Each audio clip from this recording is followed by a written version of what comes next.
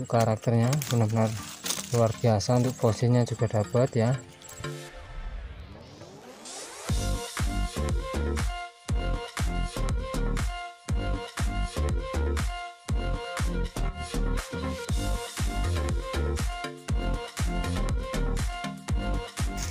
Oke assalamualaikum warahmatullahi wabarakatuh. Halo sobat saya. Salam satu hobi Oke sobat saya untuk bolang kali ini ya kita mau coba berburu bahan bonsai di perkebunan tebu seperti ini.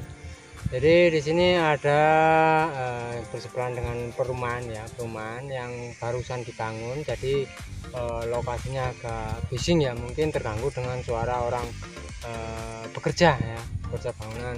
Jadi ada yang menggerinda ada yang ngetok-ngetok ya. Oke, kita mau coba bolang di sini.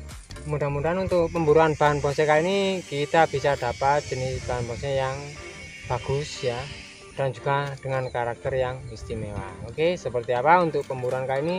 Tonton terus Jaya Bonsai.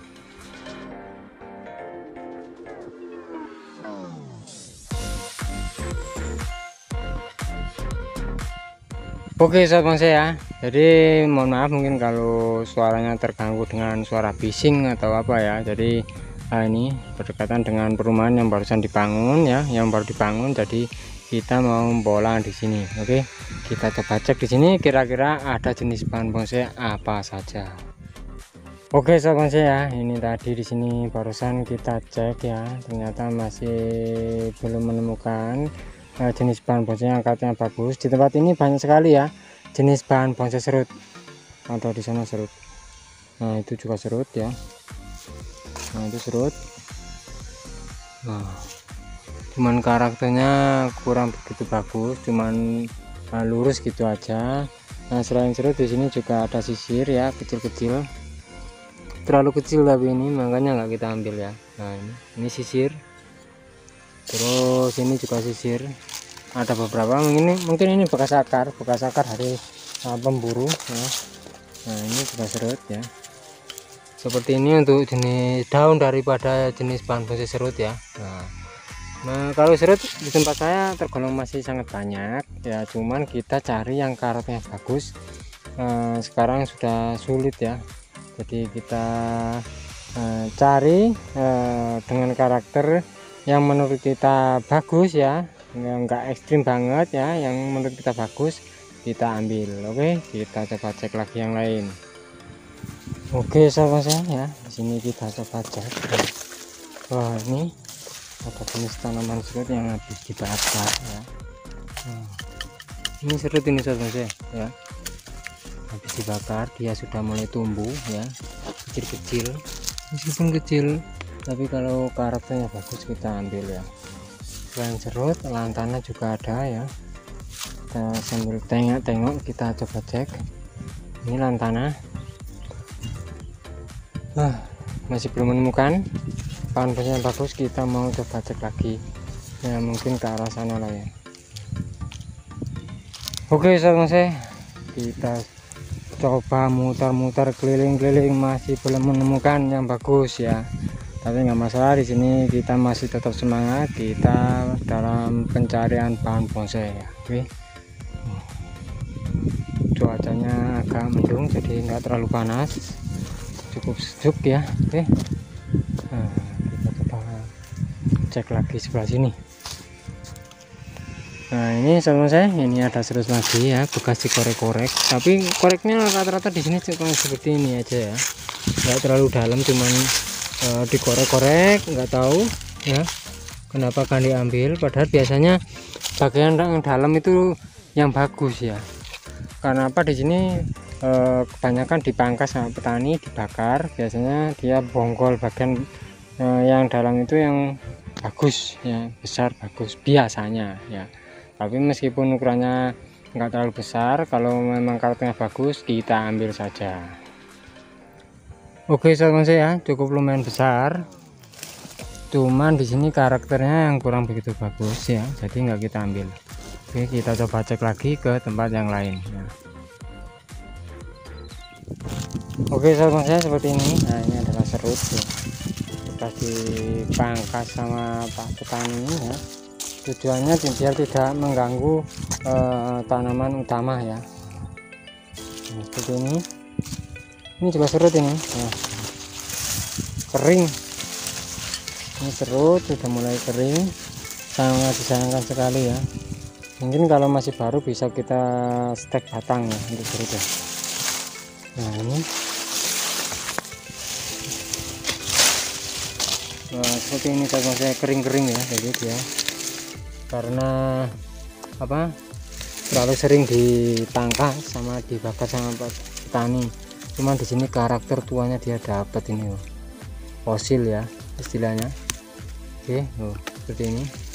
Kita mau coba cek seperti apa kira-kira uh, bagian dalamnya. Loh seperti ini sama saya. Untuk karakternya benar-benar luar biasa untuk fosilnya juga dapat ya. Oke bekasi potong. Mungkin nanti kita bisa rapikan kalau yang bagus ya. Kita mau coba cek dulu ini. Oh, istimewa ini tuh kelihatannya.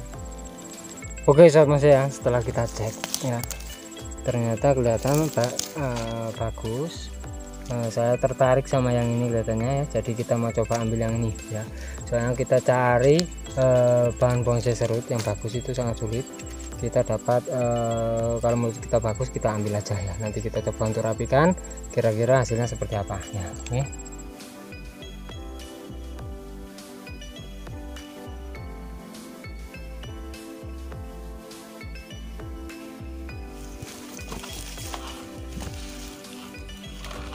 Oke sobat saya, karena ini batang pendek ya, jadi di sini kita mau coba ambil dulu nah, kalau seperti ini masih belum terlihat jelas dari video ya dari kamera. E, cuman nanti kalau memang sudah terangkat pasti bagus. Jadi ini karena ini bagian atasnya besar bongkol besar kita pangkas segini saja ya.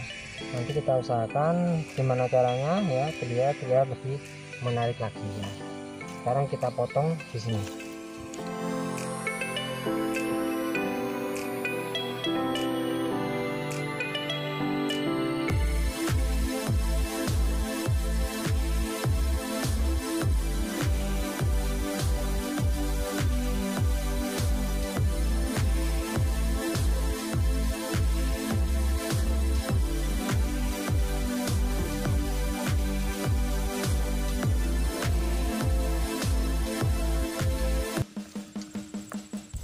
Oke sahabat saya. Dapat ini aja sudah alhamdulillah ini ya. Kita mencari bahan bonsai tempat saya memang sekarang agak sulit ya. Jadi kita dapat uh, seperti ini aja. Nah, kalau memang dirasa bagus kita ambil ya. Oke. Nah, ini bekas dibakar ini sahabat saya sama petani ya.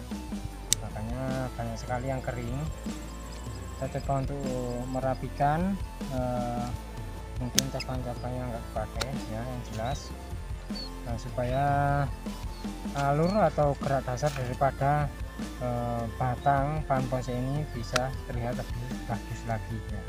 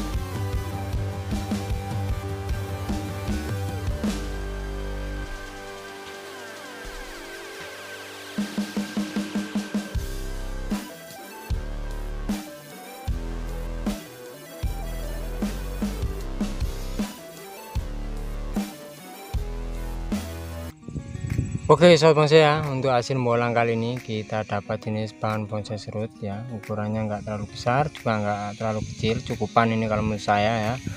Uh, ini kalau ukuran-ukuran segini itu enak ya kita uh, menanamnya terus tempatnya juga enggak terlalu memakan tempat daripada yang besar ya. Oke ini aja sudah Alhamdulillah. Karena apa? Kita cari uh, bahan bonsai yang bagus memang agak sulit. Jadi kita dapat ini sudah Alhamdulillah. Nanti kita tanam dengan gaya uh, di sini memang harus tegak lurus ya. Tetap ini tegak lurus. Terus ini kita bikin seminya ya. Gerakannya dia sudah dapat ya. Nah, ini. Ini. Bagus ini saudara saya untuk gerakannya. Kalau menurut saya sih untuk gerakannya sih dia bagus ya uh, kita tinggal nanti uh, membuat cabang-cabang uh, ya. Cabang terus mahkota ya. Ya mudah-mudahan untuk jenis pohon bonsai serut yang satu ini bisa tumbuh subur uh, supaya ke depannya kita bisa untuk update untuk perkembangan daripada jenis pohon bonsai serut yang satu ini ya. Oke sahabat bonsai ya. Meskipun kecil jangan salah sahabat bonsai ya. Ini jenis pohon bonsai serut yang memang di tempat saya ini sudah tergolong agak sulit cari yang bagus. Kalau kita cari jenis pohon bonsai serut sendiri di sini masih benar-benar sangat melimpah. Banyak sekali ya. Khususnya kita cari yang eh, mami ya. Mami sito wah banyak sekali kalau di sini ya. Cuman kita cari yang ukurannya agak besar ya kira-kira sepaha yang karakternya bagus. Nah sudah mulai langka di sini. Oke? Nah, oke nah kurang lebih seperti ini untuk hasil bolang kali ini ya. Ini aja udah alhamdulillah ini mau saya bawa pulang kita proses kita tanam ya kita cuci. Yang jelas kita cuci dulu. Nah, mungkin karena ini enggak uh, musim hujan jadi kita rendam dulu ya. Kita rendam dulu mungkin 2-3 jam. Nah oke sahabat saya untuk menanam jenis serut ya. Daun-daun seperti ini daun-daun muda seperti ini kita wajib kita buang semua ya kita buang semua supaya nanti dia tumbuh tunas-tunas baru ya. Kita cuci bersih. Uh, kalau memang di bagian bawah ada akar seperti ini ya. Akar-akar seperti ini nggak usah kita cuci ya. Kita cuci bagian atasnya ini. Yang nantinya nggak ketanam ini kita cuci bersih. Bagian bawah yang ketanam nggak usah kita cuci bersih ya. Karena sayang nanti jika akar serabut seperti ini rusak ya. Oke nah, untuk pemburuan bahan bonsai kali ini dapat ini aja udah cukup ya. Nah, mungkin lain waktu kita mau coba bolang lagi di tempat ini. Mudah-mudahan uh, pembolangan berikutnya kita bisa dapat jenis bahan bonsai serut ataupun yang lain yang karakternya bagus. Oke sahabat bonsai mungkin uh, terima kasih untuk sahabat bonsai yang sudah menonton video saya kali ini. Jangan lupa untuk like share komen dan juga subscribe nya agar sahabat bonsai tidak ketinggalan untuk video-video terbaru dari saya. Oke terima kasih sampai jumpa di video saya berikutnya dan wassalamualaikum warahmatullahi wabarakatuh. Tetap semangat terus berkarya dan salam bonsai mania